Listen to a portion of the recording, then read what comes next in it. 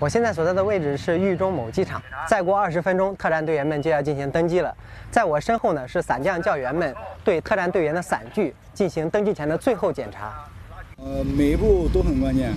比如说我们这个拴马后，它如果在跌伞的过程中打成活结的话，这个拉绳拉开之后，它有可能会导致主伞危害。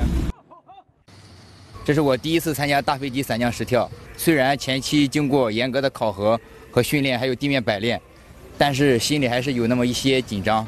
不过我相信，我一定能够圆满完成此次任务。随着飞机高度的不断爬升，队员们开始做着最后的检查工作。针对部分队员出现的紧张情绪，投放员进行了现场动员。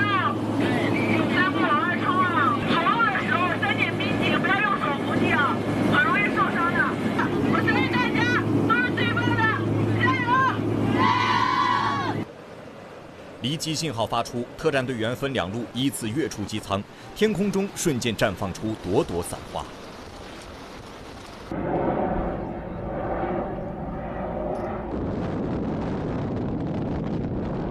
空中的跳伞员，你们伞开得好，注意观察聆听，拉开间隔，左一路的背向太阳走五秒。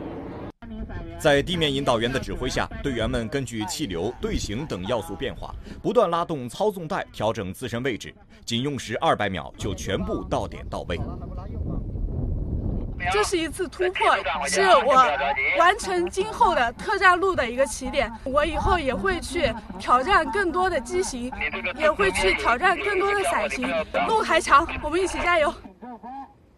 空中朵朵散花的绽放，需要特战队员扎实的训练，也离不开地面保障力量的精准配合。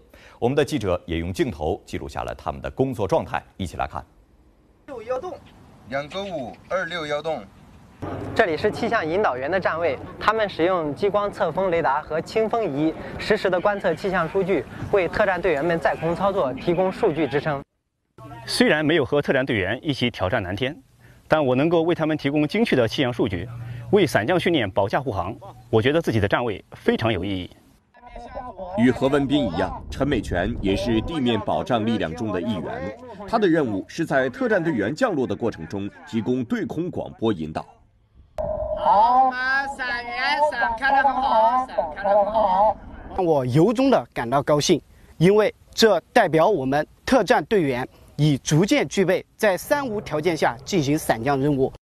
目前已完成三千两百余人次，涵盖了不同机型、不同伞型、不同科目、不同高度的实跳训练，初步形成了小队规模的远距离高空翼伞渗透能力和营连规模的远距离成建制空中投送能力。